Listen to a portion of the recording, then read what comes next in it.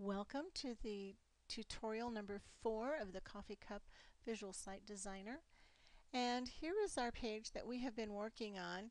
And I just want to touch briefly on uh, your navigation system. You need to have some kind of uh, plan in mind, whether you continue something like this across all the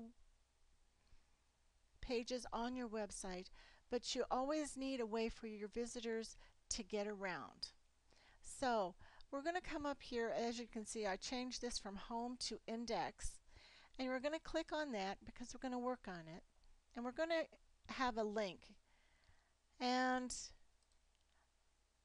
this uh, comes up and it's my website front page okay that's good and it's mywebsite.com alright well that's very good so that's what we want.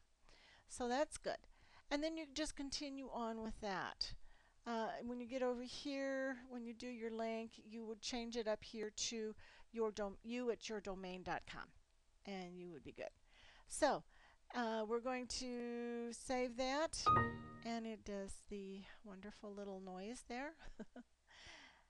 and now it is saved.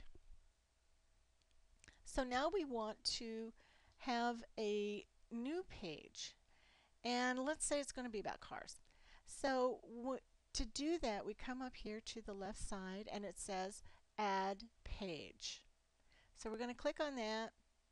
And in order for us to kind of keep an idea of what's going on, um, what page is what, we're going to give it a little bit of a title.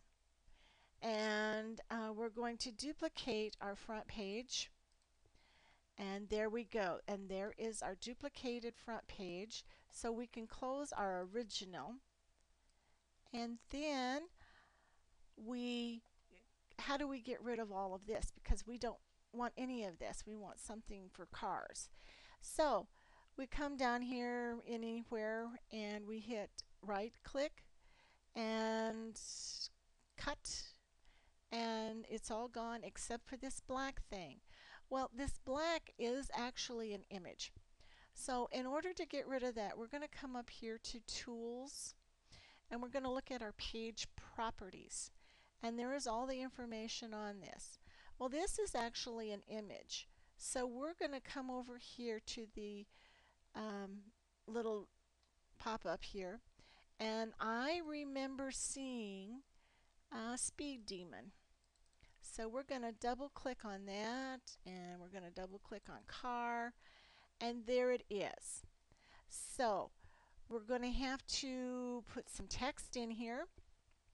So then I'm going to try to get this over here so you can see.